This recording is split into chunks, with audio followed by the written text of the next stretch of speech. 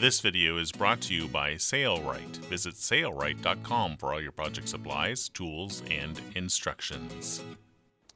The cushion that we're going to be showing you how to make in this video has a knee riser here. This knee riser is built to basically hold the occupant in the cushion, say on a powerboat or a sailboat. But also this cushion does not have a backer board. Typically you see these knee risers with a board and then the fabric is pulled over the board and stapled around the perimeter. This one actually has a fabric bottom and a fabric pull with a zipper in it to separate the two heights of foam, the high-rise foam and the low-rise foam. Here's a look inside the fabric cover. You can see the fabric pull with zipper there. This knee riser is perfectly straight, but there are some that do take a curve. If you'd like to see how to do one with a curve, leave some comments below. If we see enough interest, we may do that. We'll be making this cushion out of a high quality marine seating vinyl, but if you'd like, you can use a woven fabric. The principle is exactly the same. Since we're creating a cushion from scratch, we're going to be cutting new foam to make this contoured cushion. If you plan to use your old foam from an old cushion, skip this chapter and the following and go to determining plate and boxing size. What type of foam should you use for a cushion like this? Well, we're gonna be using polyurethane foam, and ours is a high density polyurethane foam. And we've chosen a firm uh, IFD. But you could also use dry fast. Dry fast allows the water to go right through the foam. So if you're using a breathable fabric or if you have a fabric on the underside that allows the uh, air and uh, water to escape, this is a great foam for that. If your cushions are not being used on a regular basis, then you can get away with a medium density foam because density has to do with longevity. If you're using the cushions on a regular basis and you want a high quality foam that'll last without bottoming out, then you should choose a high density foam. So the higher the density, the longer the life of the foam if used on a, a regular basis. Now IFD has to do with the firmness of the foam. So this is a firm foam. Pretty hard to compress it, which we really like for these uh, cushions. And this too is a dry fast in a firm foam. Now, if you like a little bit softer cushions, you may want to go with a medium firmness. The Sailrite website has all kinds of information about that. We typically cut the foam to about one inch larger on the length and depth than the opening it will fit into. We desire our finished cushion to be about 22 inches lengthwise and 19 inches in depth, so we'll cut the foam to 23 inches by 20 inches. It's now time to cut the foam to size. We chose a high density polyurethane foam. We're going to use the clear acrylic ruler and mark the foam to the correct size for our cushion application. This is a Sailrite blade foam saw. It's phenomenal for cutting foam like this. It has a flat base to make your cut almost perfectly vertical. You can also use an electric kitchen knife, though with high density foams it's a little bit hard to cut that foam with an electric kitchen knife. We're going to be gluing a one inch piece of foam to this four inch high riser that we're cutting right now, which is the knee riser.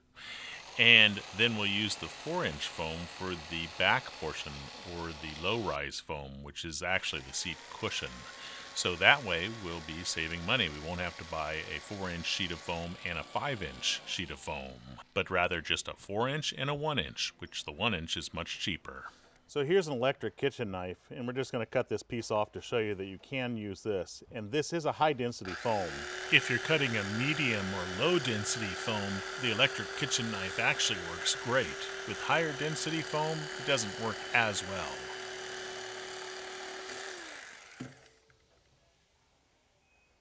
So the Sailrite blade foam saw does a much better job of keeping a nice crisp edge, while electric kitchen knife doesn't make as nice of an edge as the uh, blade foam saw, but this is still acceptable for a cushion. Even though it has a little bit of a jagged edge, this will not be seen when the vinyl or the fabric is pushed up tightly against the foam. So this is not a bad thing. So we've cut the foam. This is the uh, low foam and this is the high foam, but it's still four inches. A great way to increase the height of the foam is to just use a one inch piece of foam and glue it to the uh, high rise or the knee riser. So we're going to do that here. That one inch piece is obviously some scrap we had left over from another job. So we're using foam lock spray adhesive to glue this uh, polyurethane foam together. One inch high density firm with four inch high density firm. And we want to spray both surfaces. Please subscribe to the Sailrite YouTube channel and hit the bell to be notified of new videos when they become available. Also, please do us a favor and hit the thumbs up. It helps with YouTube algorithm. Now we want this to tack up, so we need to give it a few minutes to tack up before we glue it together. So when you touch this, does it uh, stick? Is it sticky? Yes, that means it's ready to be bonded together. Gluing pieces of foam together is very common. In fact, you can actually glue just one or two inches to the side if you need it to be a little bit bigger and you don't have enough foam. We'll cut any excess that hangs over the sides, and now our knee riser, or high foam, is ready for use. Next up, it's time to determine the plate and boxing sizes. When you're making a cushion, we're going to be referring to some things that we want you to know in advance what they are. Plates and boxing. A plate is usually the top surface of a fabric. So this would be a top plate, this would be a top plate. Now this plate incorporates the boxing. The boxing is the side of a cushion. The bottom is also called a plate as well. So plates, boxing, and if the back had a zipper in it, this would be called a zipper plaque. Now that you know the appropriate terms, here's a look ahead at all the plates and boxing that we're going to need to cut. So as we discuss measuring the foam, this hopefully will help you understand what we're doing. For projects like this, I need to take measurements of the cut foam that we did. Ours is 23 by 15, and we know that it's four inches high. This one, our high rise foam, we're gonna call this one the low foam and the high foam. This one is five by five by 23. So this cushion is gonna have plates. Plates are usually the top side and the bottom side, and boxing. Boxing are the sides. So we'll concentrate first on this low plate. This low plate will be the exact same length of the foam and the depth of the foam plus a half inch here for the area where it's going to pull down into the foam. So this is 15 inches, we're going to do 15 and a half. This is 23 inches, it's going to be 23 inches. For the high plate, which is here, we're going to incorporate this plate with the boxing, so there'll be no seam here. So to do this one, this is five inches, the foam is, we need to add a half inch for where it's going to join down here. So that'd be five and a half inches. And then for the height, which is the boxing, this is five inches here. We need to add a half inch there. So that is five and a half inches plus five and a half inches. And then we're going to put an extra safety factor in of another half inch. Why? Well, when you take the fabric and when you pull it taut, these corners are going to collapse a little bit. And that's what we want to give it a little bit of a rounded shape and we don't know the exact location of where this will end. So it's actually going to be a little bit longer than the bottom edge where it will be seamed, and we'll cut that off in a later stage. So basically, this side plus this side plus one and a half inches. For the boxing towards the back, which is right here, this is a four inch foam. We want to add a half inch to that. So this will be cut four and a half inches in the fabric the length will be exactly what the foam is. This is 23 inches, so it'll be 23 inches exactly. For the side boxing, which is on this side and also on this side, we want the bottom edge to be the same distance from edge to edge of the foam. And then we're going to add uh, a half inch to this measurement, so this will be four and a half. We're going to add a half inch to this measurement up, so this will be five and a half. The bottom plate which will be the underside of the cushion, should be this exact measurement by this exact measurement. If you open up this cushion cover and you look inside, you can see a piece of fabric with a zipper in the center. And this fabric separates the two pieces of foam, the low-rise foam and the high-rise foam, and the, that fabric pull pulls the seam down so there's a nice shape between the high foam and the low foam. The size of the fabric pull should be one and a half inches smaller than the length, and 1 inches higher than the low foam. So our fabric pull will be cut to 21 and a half inches and 5 inches high. It's highly likely that your cushion size will be different. You should write all your measurements down and calculations before you proceed. What if you're using old foam and you're reusing it? We've cut new foam to size, which makes it easy to measure because none of the sides are compressed. On older pieces of foam, you can still do this if you want to reuse your foam. All you need to do is take a measurement of the area that's not compressed and the widest area. So down here, typically towards the middle of the foam, it won't be compressed much. So that's a good measurement area. Same thing with the low foam. It'll be compressed here. So take a measurement at the widest part for all of these measurements we just took. Now that we have the measurements, it's now time to pattern and cut the fabric to the correct size.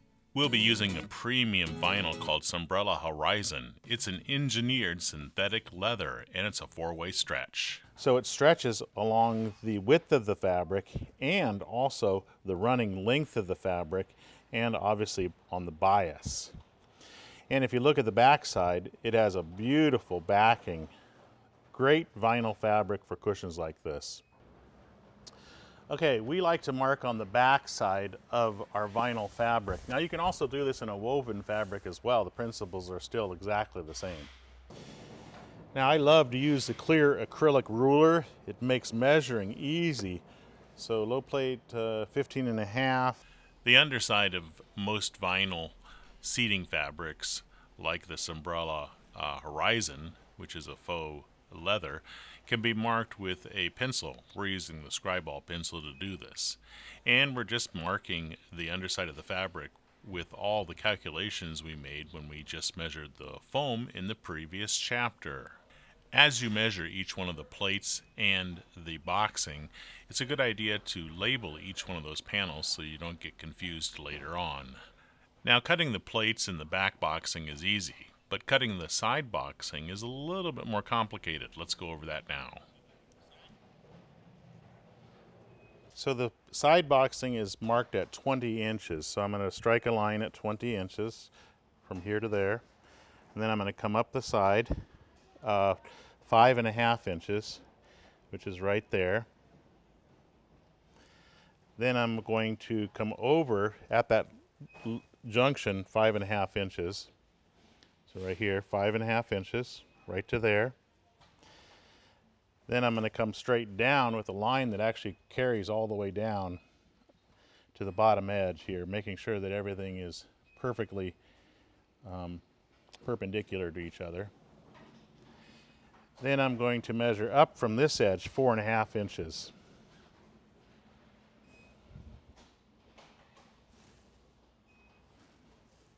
Right there. That is our side boxing. Now for the second one, we need to mirror it. And so what I've done is I've cut out little pieces of fabric to basically emulate this. So this one's like this, wrong side up, right side's down. So what we need to do is we need to mirror it. So what I need to do is do that. So I'm going to do a duplicate of that, measuring it here. We'll not show the whole process for making the second side boxing. Now we need to create a curved corner at the top of the high rise or knee riser. We're going to do that with a solo cup. Now I'm going to round this corner, this corner, this corner, and this corner with a red solo cup. I find it to be a perfect uh, way to get a corner that's just excellent for this type of cushion. These curves will make it much easier to sew the top of the knee riser to the plate when it comes time to do so. Notice how this line runs right into this? That's perfect. When we make a knee riser cushion, our high foam is usually only one inch higher than the low foam. Now it's time to cut everything out. Do not cut on this line and this line. Those are for references only. We'll cut the side boxing, back boxing, and the two plates out. After all of these are cut out, then we're going to cut the bottom plate, but we're going to use a different fabric completely for it. We're going to use a Phifertex mesh. Now for the bottom plate, I'm using just Phifertex uh, mesh vinyl fabric. and I've already measured it to the correct side and I love to use the Scribe-All pencil black to mark on Phifertex. Um, you can use a pencil, sometimes a pencil won't show up as well, or uh, a, a, Sharpie marker, but the, uh, the issue with the Sharpie marker is it might get on your vinyl, so just want to be careful with it. Here are some other fabrics that can be used as a backside fabric. Cushion underlining material, Phifertex, and Phifertex Plus all available from Sailrite. Okay, what I'm doing here is I'm going to use the Phifertex uh, material for the fabric pull. You can also use a stable fabric if you have some scrap. You just don't want to use a four-way stretch for the fabric pull. We want the fabric pull to be one inch larger than our low foam. Our low foam is four inches, so we've made it five inches. And you want the fabric pull to be uh, one and a half inches uh, smaller than the width of the foam. We had 23, so this is 21 and a half. If you're using vinyl fabric like we are, and also a uh, mesh fabric for the uh, back plate, you can cut it with scissors. If you're using a woven fabric, you may want to consider using the Sailrite Edge hot knife so that it seals the edges of the fabric so that it doesn't unravel much. Everything is cut out, it's ready to be assembled, and here's what you should technically have if you're making a cushion like this. We'll grab the fabric pull and now install a zipper in it. The zipper will allow us to insert the high foam in the front of the cushion. This is our fabric pull and we want to install a zipper down the middle so I'm going to cut it just a slight bit, bit bigger than the overall length of the fabric pull. I'm going to place a seam stick basting tape for canvas and upholstery along the flange of the zipper just to keep everything nice and flat and make it easy for sewing. You want to keep this double-sided tape as far away from the zipper's teeth as possible. We're also using a YKK number 5 Vislon zipper, so it doesn't matter if the slider gets put on with its puller this way or that way. If you use a coil zipper, then you have to be careful about how the plate is uh, orientated in the cushion. So a Vislon uh, eliminates that possible mistake. So we'll peel off the transfer paper of uh, both sides of the zipper, revealing the glue. So now, does it have to be perfectly centered? No, it doesn't, but uh, we want to try to get it as close to the center as possible. No one's going to see this. It's going to be inside the cushion. We want it nice and flat. So we're going to sew this before we split it in half. We're going to move our needle to the right position. We're sewing a straight stitch about five or six millimeters in length. Be sure you do reversing at the beginning and the end of each stitches. We're using a V92 polyester thread and a size number 20 needle.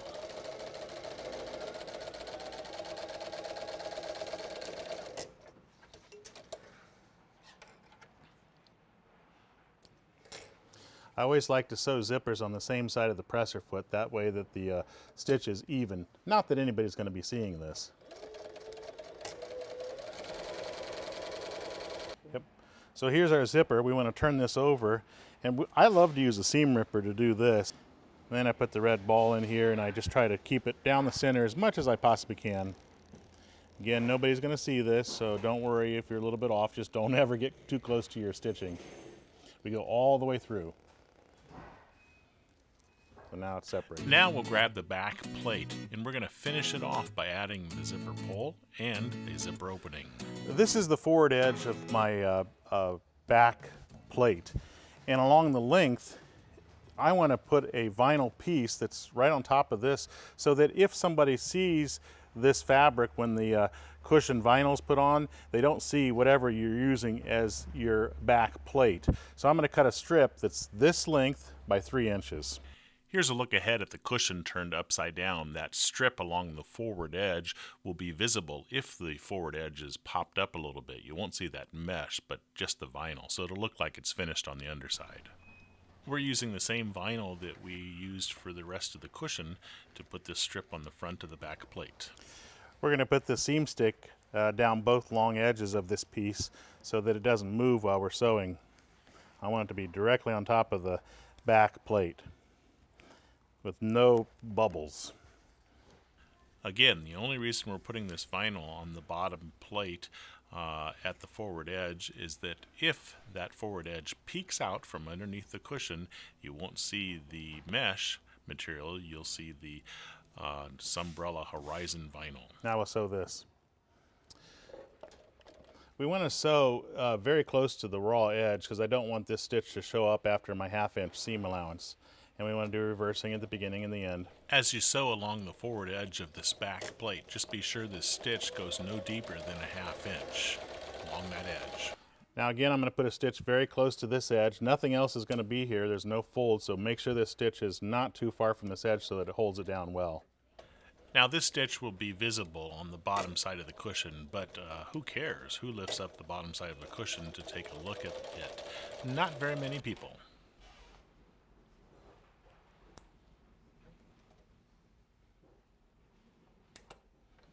Good. Now since we have a vinyl piece on, this officially becomes the right side of the fabric. So we're going to flip it so that the wrong side is up. So the vinyl piece is now on the bottom side. And on this side, this is the back side, I'm going to put a zipper here. Now you can put a zipper in the boxing if you like, but this is just a fast way to make a cushion. So what I'm going to do is I'm going to measure up three inches from the edge. Now this is not the location of the center of the zipper, but it's the location for the flange of the zipper. And I'm going to measure over one inch from the edge, strike a line, one inch from this edge. So my zipper is going to fall short basically by about an inch. I'm going to cut this zipper uh, a little bit longer. Again, I like to have some extra extra in this than that uh, line that we struck on the fabric. And I'm going to apply double-sided tape to the flange of the zipper, keeping it far away from the zipper's teeth, like we talked about earlier. Notice how I put double-sided tape down. What I do is I put one finger here on the double-sided tape, then I, I line it up and I use my thumb and I basically walk like this. This kind of helps you from stretching the fabric if it's fabric that you're applying it to, and it's also a quick way to apply double-sided tape.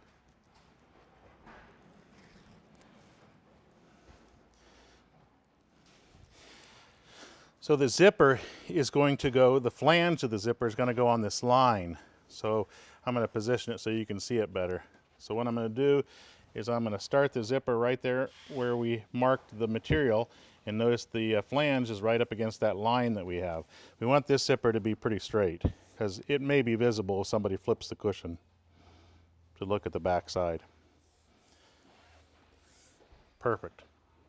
Okay, I put my needle back in center position to sew that uh, vinyl strip on the uh, bottom plate. I'm going to put it over to the right again so I can get close to the zipper's teeth. Make sure you do reversing. Now I typically like to sew zippers on the same side, but then I have all this extra fabric that I'd have to roll underneath the arm of the sewing machine. So I'm gonna move my needle positioning bracket to the left and sew it on this side.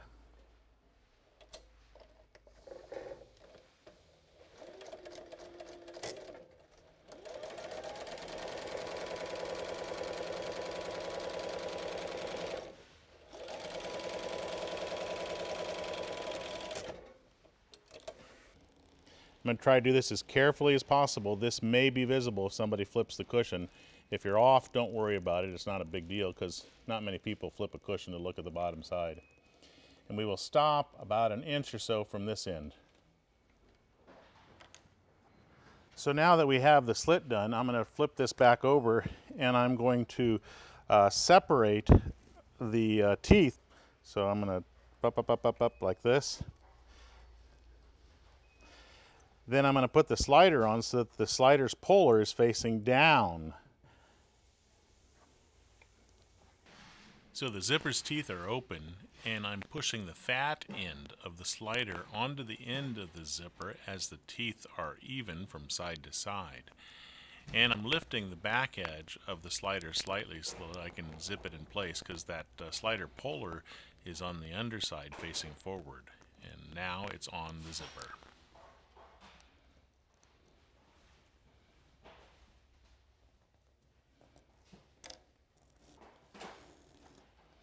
We'll push the slider to the middle of the assembly right about there. We've taken some scrap vinyl and we're just going to cut a little rectangle here, two of them, and we're going to fold this in half like that. And we're going to put it very close to the end of the zipper here. This reinforces the zipper and also makes it possible for us to easily separate the cushion uh, to insert the foam without the ends popping uh, free. I'm going to put my needle back in center position. Now when I sew over the zipper's teeth, I want to be careful so that I don't deflect the needle. So I'm going to go slow. And then I'm going to go in reverse.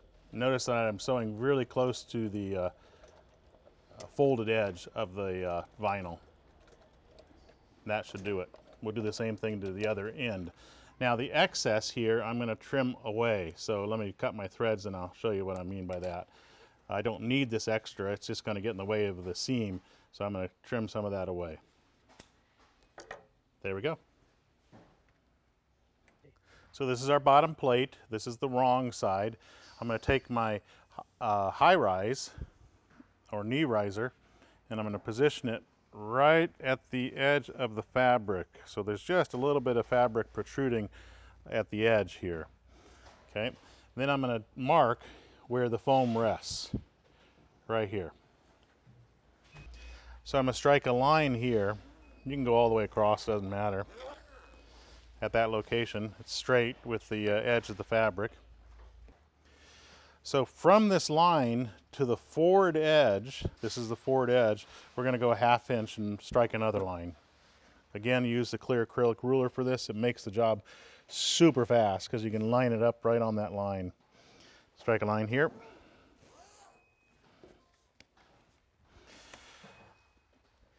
Now, while we're at this, um, we're going to strike a line a half inch from the edge of this zipper pull and we're going to do it on the side that has the zipper, not this, this side, but this side. So a half inch from this edge.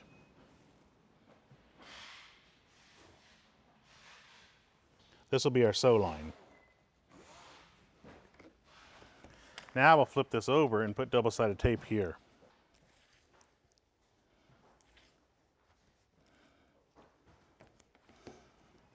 Peel off the transfer paper revealing the glue, flip the assembly over like this, and baste it to this line.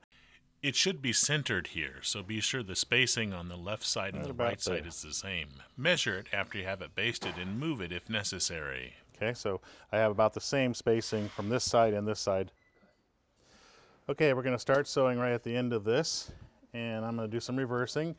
Very important to do reversing here. We want this knot to come loose. And we're going to sew directly on top of that line that we struck.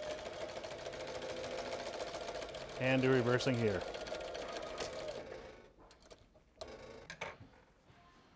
So this is what you should get. We're going to cut a little bit off of this just to make it almost flush with the end. Then we're going to separate the two halves just by pulling it uh, like this and it separates completely. Now what we want to do is we want to put a little stop on one of the ends. It doesn't matter if it's this end or the opposite end. We're going to wrap some vinyl around both sides just to keep the slider from coming off one end. The other end we're going to leave completely undone. So here I've cut some scrap vinyl and what I'll do is I'll just wrap it around the end of the tooth uh, just like that. And then I will sew alongside of it.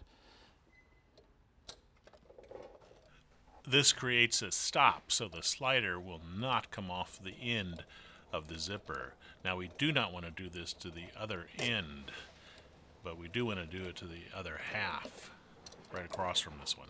And that creates a stop on the end. Now unfortunately I sewed this on here and I should have put this on first, uh, but it can still be done.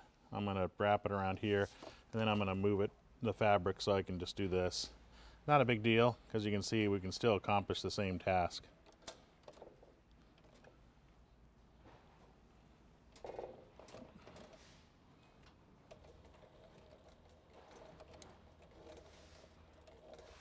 And this is on the inside of the cushion, so nobody's going to see this.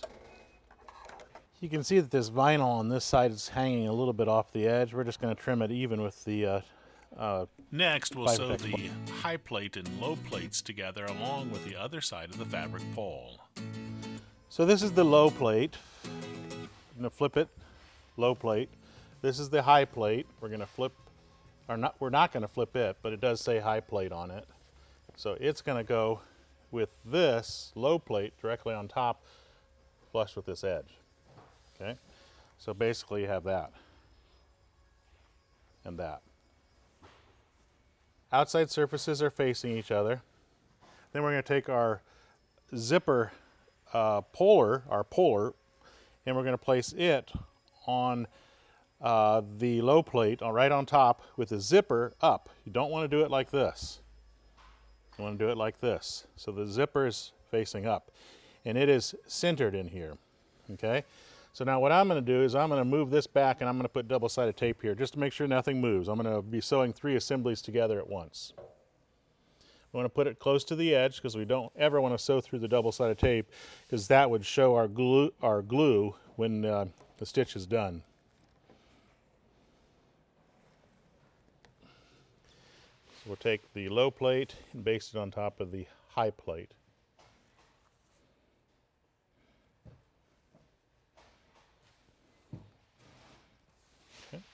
Then we'll take this and we'll flip it so that we can put basting tape along its edge.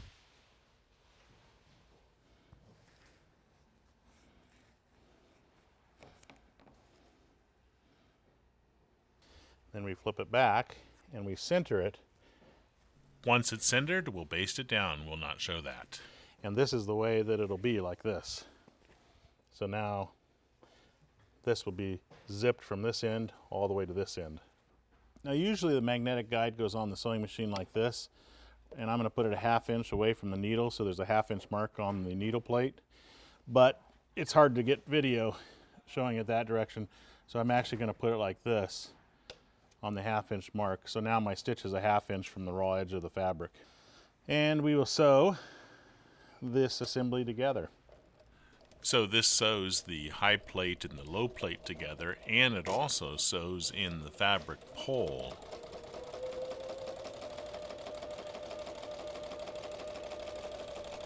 This is a straight stitch about a half inch away from the raw edge of the fabric. That's what that magnetic guide's for. It acts like a fence on a table saw. Do some reversing at the end. The boxing's been cut, but we need to prepare it first and sew it together. That's next. Okay, so this is the back boxing and these are the side boxing pieces and our boxing for the front is incorporated into the high plate right here. So what I'm going to do is I'm going to take the back boxing and I'm going to place this on top of it so outside faces surfaces are facing each other and we'll sew a half inch here okay so I'm going to fold that back and I'm going to take this one, make sure, making sure that this is up the same direction. In other words, up this way, not this way. And I'm going to put it here and sew a half inch along this edge. So that's what we're going to do next. Do reversing at the beginning and the end. Very important. So this joins the back boxing with the side boxing. Outside surfaces are facing each other. Stitch is a half inch from the raw edge.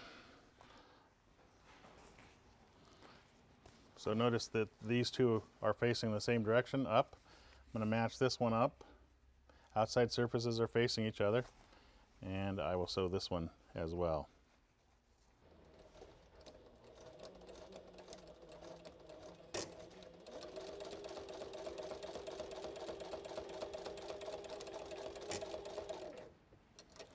There we go.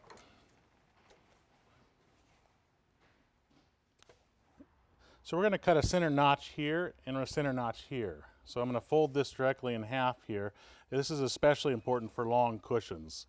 This one is not very long, so it's probably not necessary, but I want you to get in the habit of doing this for any cushion because it can basically save your neck. So I cut a triangle here going no deeper than our seam allowance and then cut it over here as well. Notches placed in the boxing can help you to match up plates so they're directly across from each other. So now that we have that done, we're going to take this plate and we're going to fold it directly in half and we're going to find the center of both the front side and the back side. This is a fairly small cushion and probably these match-up marks aren't that important because we're going to be matching up all the corners. However, for very large cushions, whether it be lengthwise or widthwise, match-up marks every 18 inches or so on large cushions are really important because they can help you match boxing to plates and plates to plates. This is the forward edge, this is the back edge. We're going to fold it in half and put notches in this in the same manner. What I'll do is I'll cut a few notches in this, especially around this curve. They can, they can be helpful, but at this transition, I want to cut a little bit bigger notch. I'm going to cut a V, not going deeper than our seam allowance, which is a half inch. I'm going to take that material out. And then here, everywhere else, I'm just going to cut some notches about an eighth inch or a quarter inch apart from each other at the curve. I'll do the same thing here. Don't go deeper than your half inch seam allowance. That would be a bad thing. These notches may help when sewing, but they'll also help when the uh, seam allowance has to rest inside the cushion to allow it to relax. And we'll do the same thing to this other side as well. Next, we're going to sew this boxing to the top plates, the high plate and the low plate. Okay, so this is our high rise, our knee riser, and it's going to be sewn to here, like that. So it goes like this okay? And which means that if you continue on around the cushion, this one goes like this. So when it's sewn on, when you turn it right side out, it'll be perfect, just like that. So I'm going to splay this seam down flat so that it comes in contact or very close to that corner like this. Okay, so where does this fall? It should fall very close to this line that we struck but it's a little bit off and it's okay to go up into this uh, curve here. It's actually good. And so I'm off by a little bit of a, an area here and I already marked it with a pencil. So we're gonna start uh, match this up so it's right at that new pencil mark that I marked, okay? So it's gonna go like this and then we're gonna start sewing here, sew down, come around this edge, come around here and sew all the way to here. So this will be our start point. So there's my mark where the where it comes and lines up with the corner on the end there. I'm going to put it on this splayed out section here, right like that. Push it off of the edge, which is okay right now. Match up these raw edges and sew about four or five inches from there. So right about there starting about four or five inches from the area that has a lot of shape will keep us from pulling one fabric more than the other while we sew it. If we started at the corner, we may actually be off when it comes to the area that has shape. I'm not going to do any reversing because when I come around and meet up to that stitch, I'll do some reversing. We're going to sew slowly. And we're a half inch from the edge. Now I'm getting close to that uh, seam and also the curve. So I'm going to stop with my needle buried. I want to make sure this is not bubbled. I want to pull it out flat so that the seam allowance is going this way towards the uh, front of the cushion. Okay, so my fabric pull is right there. You can see it right here. It should just be laying wherever. We're not sewing through it. But the seam allowance here should be going towards me, and it is. So it's splayed out nice and flat. So I'm going to go very slowly around this corner, trying to make it, not make any abrupt curves, but gentle curves. Okay, so now I'm getting to this, so I'm going to pull this back. See how my slits are opening up? I don't want to pull it back too much because I don't want to be too abrupt. I just want to sew a half inch from that edge, and that magnetic guide's helping me to do that.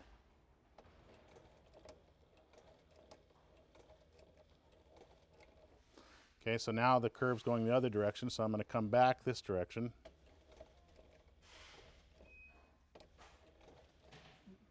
Okay, I'm a little bit off here. I'm going to bury my needle a little bit and I'm going to lift my foot and I'm going to straighten this out a little bit without being too abrupt.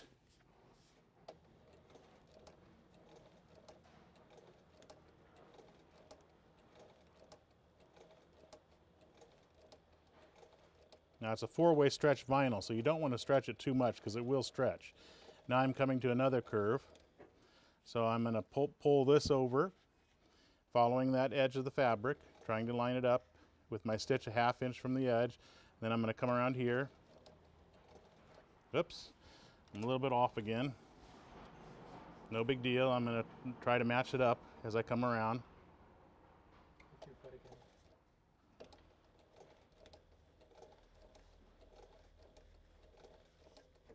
There we go.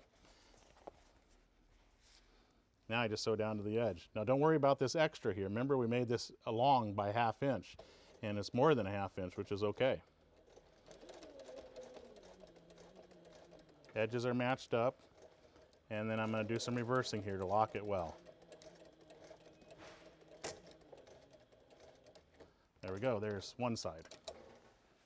For some reason, that camera angle made it look like we did a terrible job, but doesn't look bad at all.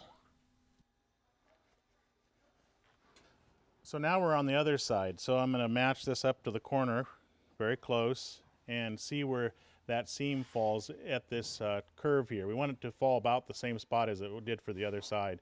So right where I have that mark and I'll move that up right there. Okay. Now I can't sew this direction down easily. So what I'm going to do, because I want to start here again and sew that direction, so I'm going to have to flip this so this is on the bottom side and this is on the top. And that seems scary, but it's not too bad. So at this mark, I'm going to cut a notch out of this so I know where I want to start basically right at that seam. There. So there, that notch is even with that seam right there. So I'm going to flip this like this So I'm going to move this down to that edge. The seam is matched up with that notch there. I'm going to push it in and I'm going to sew about four or five inches from that locale. My boxing's on the bottom side. Since this side has the boxing on the underside and the plate on top, the process is slightly different. Watch. Okay, I'm getting to the point where they're starting starting to get some shape.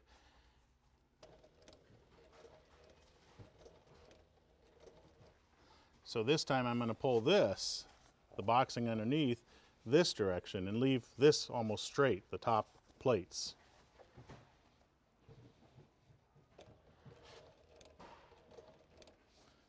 Okay.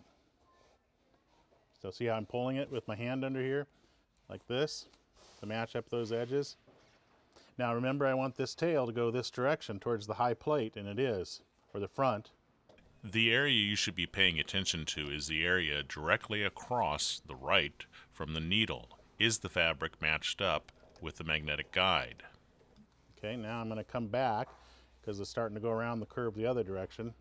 As long as the two edges of the fabric are matched up right directly to the right of the needle along the magnetic guide, which is a half inch from the needle, the contoured edge is being followed with a half inch seam allowance. So I'm a little bit off. I'm going to try to work it in there slowly closer to the magnetic guide because I'm a teeny bit off of a half inch. And that shouldn't be any problem because the foam will compress nicely.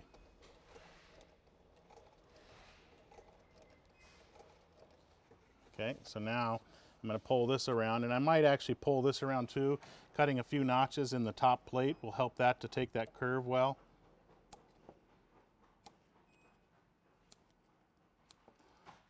So see how it matches up here pretty nicely? When you're forcing a fabric to take a turn, like here at this corner, sometimes cutting relief notches in the fabric where it wants to stretch or shrink up can help it to relax as you sew it. And it'll help it relax once the cover is done. Now I'm pretty much to the straightaway. So it's off a little bit there, See the end right here? We're going to do reversing right there. If you'll remember, when we made the uh, plate with the boxing incorporated, we made it an extra half inch long. This there is a little bit longer than a half inch, but it still should work great. So now my boxing is on the top side. I flipped it around, and we're going to start on this side and sew all the way around and then come to this side.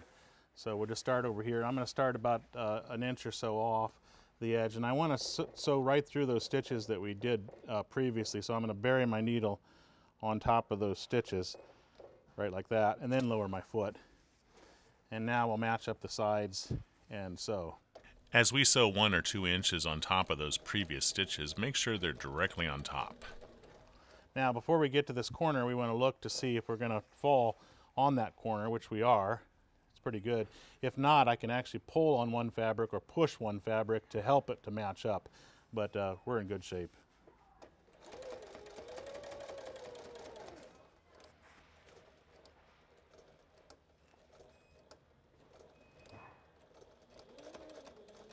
So when I get to the stitch, I'm going to stop a little teeny bit short of that stitch. So watch. And go slow. And I'm actually going to use the balance wheel. Now, if I do it right there, I'm going to be right in the stitch, which is okay, but I want to be just a little bit behind it. it I find it a little bit easier when to do that. And I'm going to bury my needle to the thickest part of the shaft. Then I'm going to lift my presser foot so I can pivot on that buried needle and I'm going to turn my assembly like this and I like to push this excess fabric past the magnetic guide and then I'm going to lower my foot and I'm going to sew down this side.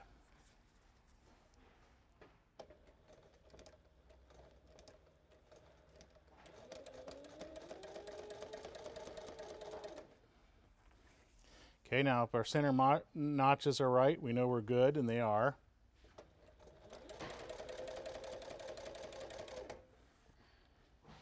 Now see, I pulled, evidently something stuck a little bit, and my center notch is not quite, well no, it's, per, it's pretty good.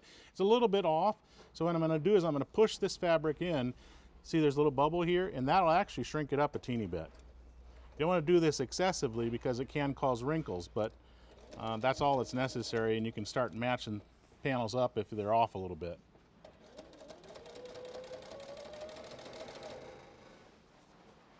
Okay, looks like this corner is going to fall just about right where I want it. Looks a teeny bit long, but it's going to be still plenty good. Don't worry about it if it's slightly off. Since it's a little bit long, I'm just going to shrink it up a teeny bit more. Top boxing.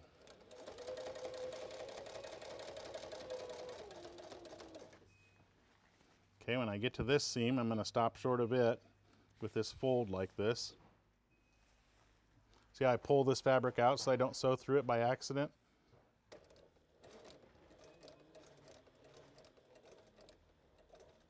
Right there with the needle buried, lift my foot, roll the assembly around, push this this direction so that we get that tail to sit down or the seam allowance just to lay down going around this uh, 90 degree turn lower our foot. Don't ever forget to lower your foot.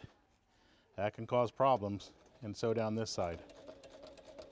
Okay, now here's, we want to make sure everything's nice and flat, and it looks like it's going to be when I come up to this uh, seam here.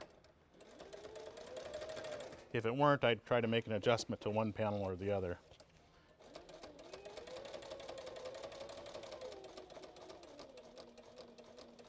Now I don't think I did reversing on the other side. I really should do some reversing here. There we go.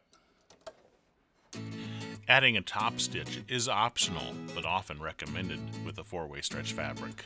Sewing a top stitch is optional. This one has a top stitch along the side, while this one has no top stitch in it. So at these back corners, we're going to do a top stitch. And the seam allowance is going to fold in towards the top plate like this. At the back corners to allow it to go in we're going to cut some notches here right very close to that uh, stitch that we created going no deeper than our seam allowance like right there. And right here. So the idea is that this will fold down and this will fold around nicely because of those slits there's some extra fabric here might as well take it out no reason to see that extra fabric. Just don't cut too close to your sewing. We'll do that at both corners. We're going to remove the magnetic guide for our top stitch. Again, we're going to fold the seam allowance towards the top plate. So our stitch is going to be on the top plate, not the boxing. And we're going to start at the center back, okay, because that's the part that people probably won't see very often because it's the back side of the cushion. Hold on a minute. In retrospect, I probably should have started at the front of the cushion and sewn all the way around. That way I wouldn't have any stitches at the back of the cushion that overlap each other and some reverse stitching. This will still work, but there'll be some reverse stitching at the back side of the cushion. And does it have to be exactly the center? No, it doesn't. I'm going to lower my foot and I'm going to splay the fabric or pull the fabric apart left and right as I sew and I'm going to use this inside edge of the outer foot as my guide. So let's just start sewing around. I'm going to do two stitches in reverse, one, two, and then sew around. Now I can feel the tail here. I can feel it with my fingers, so I know it's on the right side, or correct side. It would be the left side, actually, if I want to say it appropriately. So we're sewing through that half inch seam allowance on the underside. When I get to this corner, I'm going to fold it out like this so that, you know, we're right on working at that corner, and I'm going to feel my tail. It's going to want to cup up on us there.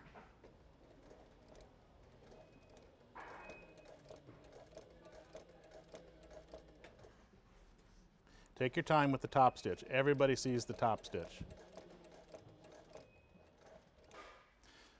Okay, so I'm coming to this corner and I've got everything splayed out. If you have to only just level out an inch at a time, do that.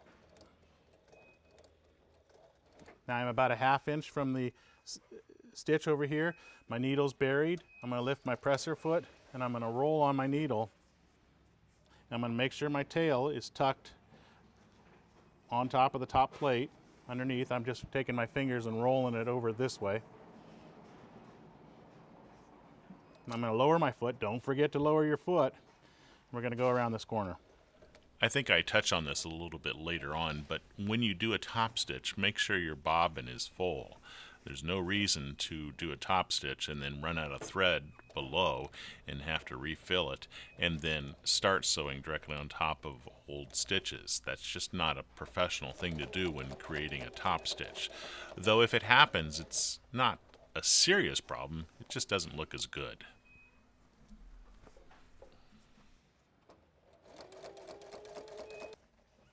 Okay, we're coming to the part where there's some shape. I'm going to tuck my tail so that it's on the top plates. I'll splay my fabric apart. When you're performing your top stitch, there's a lot of bulk at corners and at transitions like this, so be sure you have enough foot okay. pressure down. Everything's looking good. Make sure we get over this bump without any problems. The Ultrafeed does a phenomenal job of that. I'm going to pull the fabric apart here because we're going around a corner. It's not really a corner, it's a curvy section. I can feel my tails on the correct side, the left side.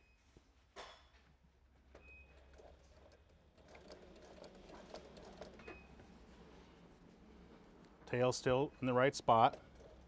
I just smoothed out about an inch of sewing. I'm to stop with my needle buried. I'm going to lay this out nice and flat. Make sure my tail is the right spot. And it is. Pull my fabric left and right so we're on that first stitch.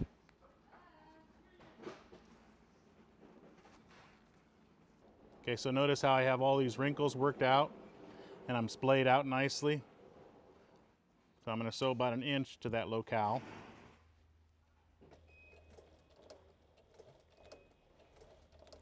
I'm going to splay it out even some more. This is a small space with a lot of shape, and because of that, it cups up. So that's why I'm moving so slowly and being so careful. You want to make sure that fabric doesn't get stuck on the back of the presser foot as you do this.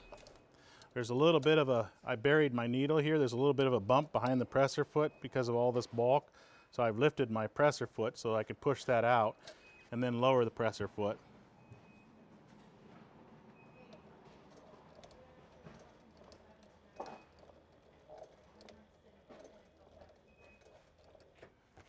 Make sure that the, none of the fabric's getting caught on anything around this transition. The whole point here is to sew very slowly. That way you can correct anything that's wrong. See, notice if I pull this fabric, how nicely everything lays now.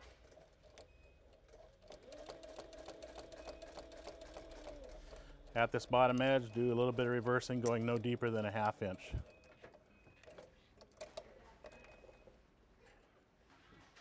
So we have the top stitch that we started here. We really could have started from the end and just sewing it all at once.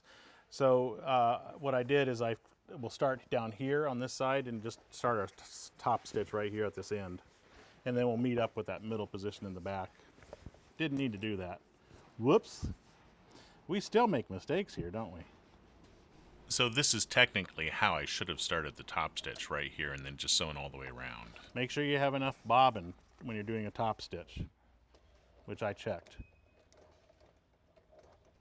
So we're splaying everything flat. We want to make sure that nothing's stuck on the presser foot in the back as we go around this corner because that can curl up your fabric. This is the other side where there's a lot of shape. That's why the fabric's curling up. Tails on the correct side, left of me. See the fabric curling up behind here? That's a no-no. You want to pay attention to that around this uh, shapely edge. The rest of this is done exactly as we did with the other side. We'll come to the middle position at the back of the cushion and do some reversing there. Let's move on. It's now time to sew on the bottom plate. That's next. So now what we'll do is we're going to cut off this excess. So to do that, I'm going to take it and I'm going to fold it so that these are sticking upright. This one too. Then I'm going to splay this out so it's laying nice and flat like that. Then I'm going to take a, a straight edge from edge to edge. Okay, it doesn't it, it won't it may not be perfectly straight, and that's no big deal. You just want the fabric to be laying as straight as possible when you're doing this.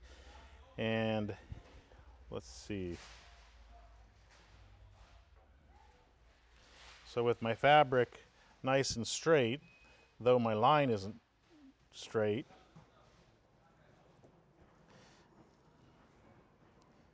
I'm going to strike a line from this one to that one. So from this edge all the way to this edge, right where the boxing stops. Then we'll trim away this excess.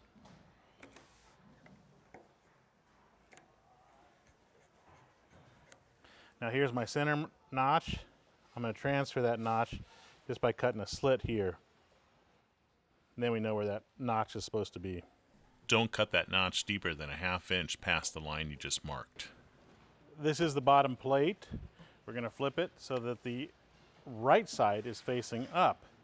We're going to apply double-sided tape, Seamstick basting tape, a quarter inch for canvas and upholstery along all four of the outer edges, getting it as close to the outer edge as possible.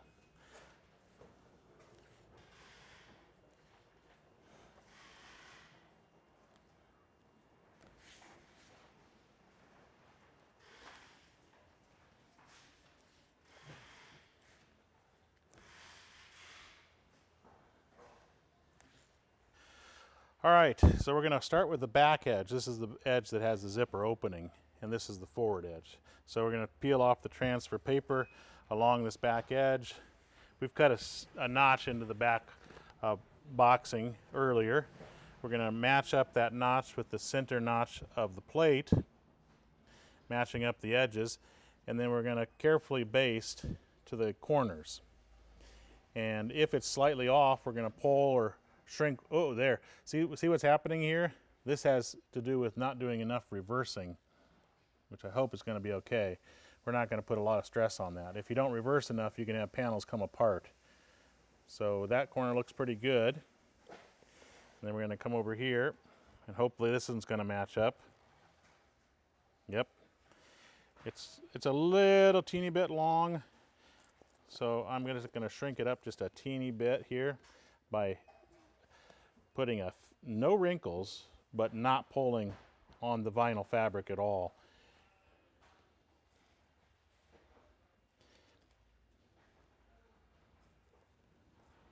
Yep, and that helped. And then we're going to come down here to the side and we're going to peel off this transfer paper.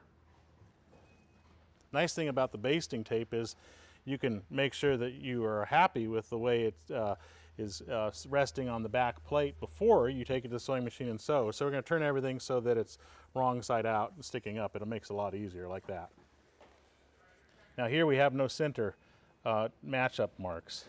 If it were a long cushion, I'd recommend that you put match-up marks along the edge. So hopefully when we base this to it, look at that, it's perfect. It's coming right to that front edge. We're not quite on the edge of the fabric like I want. There we go. Beautiful. So that edge is basted down.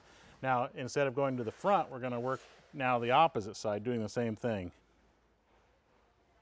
Now, you, if you're a professional, you would just take this over to the sewing machine and you'd sew it together without basting it. But uh, I've done a lot of cushions, and I really like doing this because if I see something wrong, I can sometimes correct it uh, before I sew. If I see that a corner doesn't line up or isn't matched up perfectly, as we talked about, we can pull or stretch a panel only slightly. If you pulled it a lot, then you would have um, wrinkles in your finished cushion. Perfect, just like that. Now we'll do the front edge. Peel off the transfer taper and do the same, and hopefully the matchup marks right in the center. If it's not, we'll make adjustments. So I'm going to start from the center. Yes, that looks beautiful.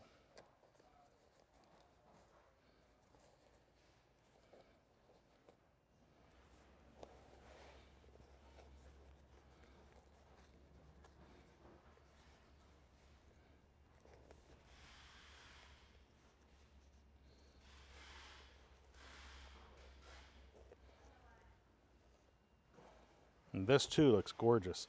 Everything fell exactly where we want it to fall. So now we can take it to the sewing machine and sew. We'll start with the back edge here. So now all we have to do is, I don't know what it was stuck on, sew around the perimeter with our stitch a half inch from the edge. We'll do a little bit of reversing here. Same thing when we get to the corners here. So as I get to this corner, we're going to do the same approach that we did earlier. I'm going to fold this flap back so very close to that first stitch. And if I have to, I can walk the machine. There, I'm almost right on top of it. My needle's buried, lift my foot. And there's a more bulk now, but uh, we can still do this pretty easily. There we go, we're around the corner. Lower the foot, don't forget that and sew around the perimeter in the same manner. I believe the process is all the same now, so hopefully you have it.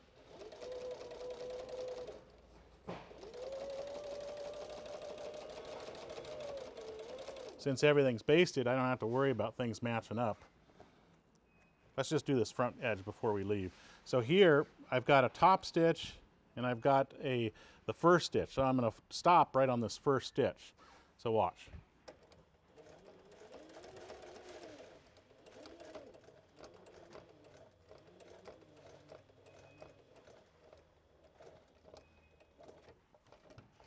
Right there on that stitch. Needle's buried. I'd never want to go past that stitch if I can avoid it. My foot's lifted. I pivoted the material around.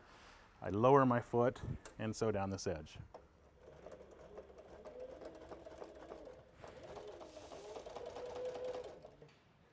Okay, so we have this seam allowance making a candy cane twist. I don't like that. So to avoid that, what I'm going to do is cut a little bit above that stitch, no deeper than the seam allowance, and that will allow this to kind of relax and not uh, be a candy cane shape. Same thing over here. So we're going to just cut it here. And that lets that loose.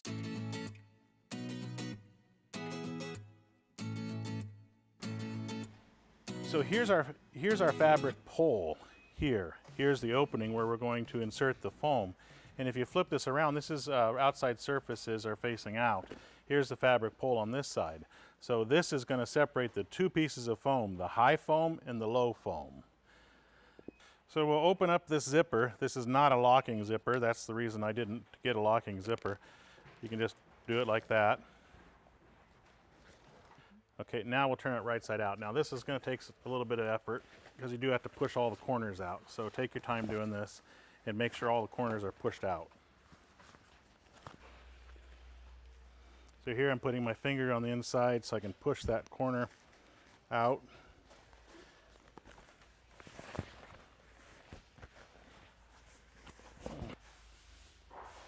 Now we need to put a slider on this uh, zipper uh, puller on the fabric pull. So I'm going to pull this assembly out like this. And this is the end without the stops on it. Remember we put stops on it? And we want the slider puller to be facing um, this direction. So away from the uh, high foam.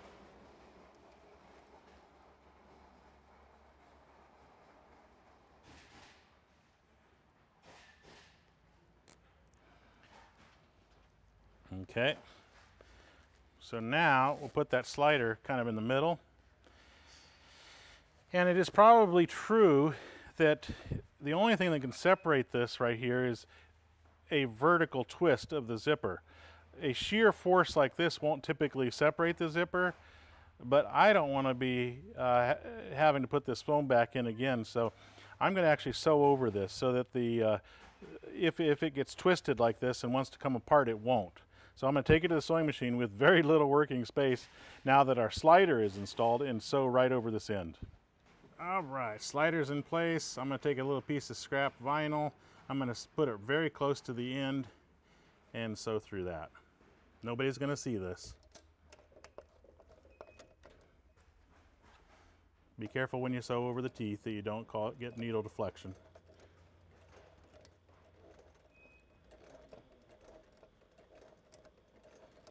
Now there's no way that's going to come apart.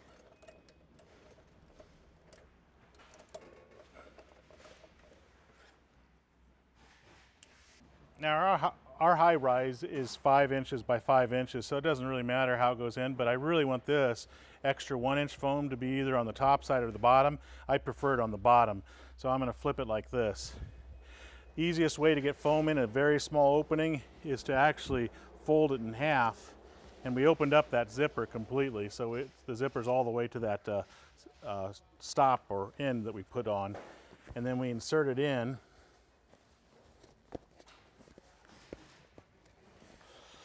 so that I get this end shoved in.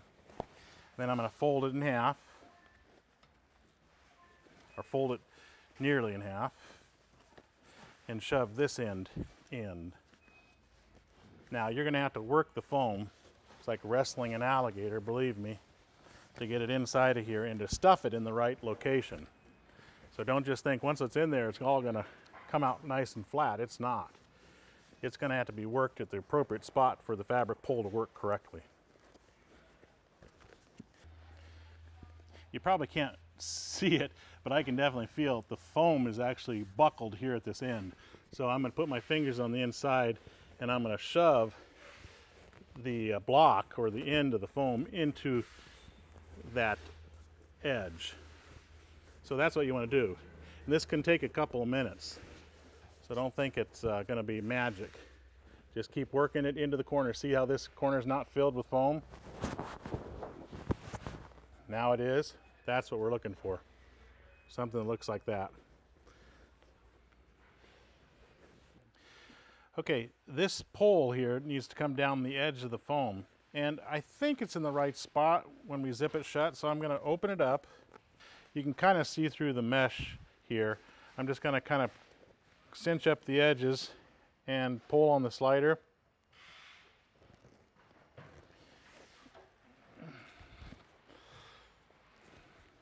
I'm gonna go to the midway position here, and then I'm gonna look. Oh yeah, see, look, this is what I'm looking for. I'm looking for uh, the, the fabric to be pulled down. If it's pulled up, then we'd have to make some more modifications. So I think I'm happy with that. So I'm going to shut this up all the way. The zipper sliders all the way to the stops on that end. Now see how it's further here than it is here? That's a matter of working the foam, not anything else. So I'm going to open it up to this point and I'm going to push the foam deeper into this so that this rolls over the edge. This is very important. This is the only way you can get those fabric pulls to work. So the zipper's open to the midsection. I'm going to take my um, foam and I'm going to push it forward this direction and pull my fabric back.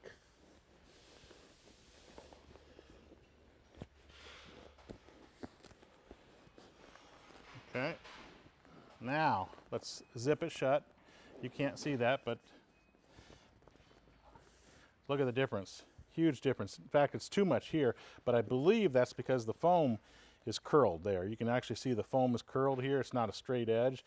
So all we have to do now is just get that uh, foam to lay straight in here so that it's a nice smooth edge. So I'll open up the zipper and I will work my foam by kind of pulling on the edge of the foam. I think we have everything in the right spot. I just want to get a nice smooth transition here with no foam. There's the foam tucked back. So I can actually work without opening up the zipper and kind of manipulate my foam into that area.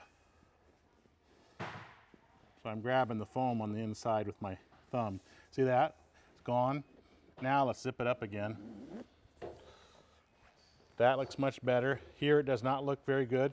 I don't even think I need to open up my zipper here. I can just go in the inside and remember this, this the puller doesn't go all the way to the end. So I can grab my foam. So I'm putting my thumb on the inside into the into the foam in here. There we go. That's not too bad. Now I think we can insert our next piece of foam. Here's what that fabric pull with the zipper looks like when it's closed up, and we believe we have the foam in the right spot. So I'm going to take this foam, I'm going to fold it kind of in half, get it inside of my cover, pushing the corners in, then pushing these in. This is why we reinforce the end of the zipper because if it's not reinforced, it can pop your zippers.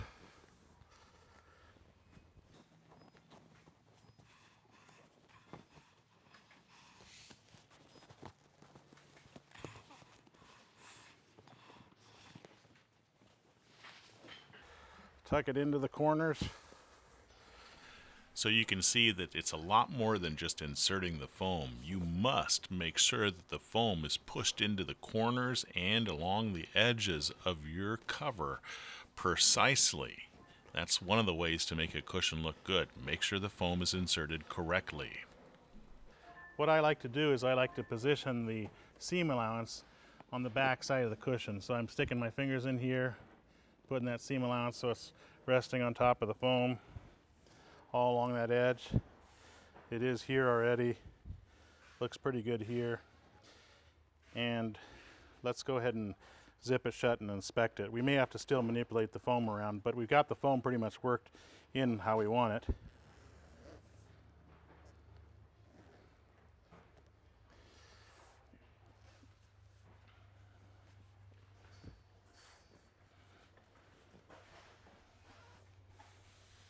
Not bad.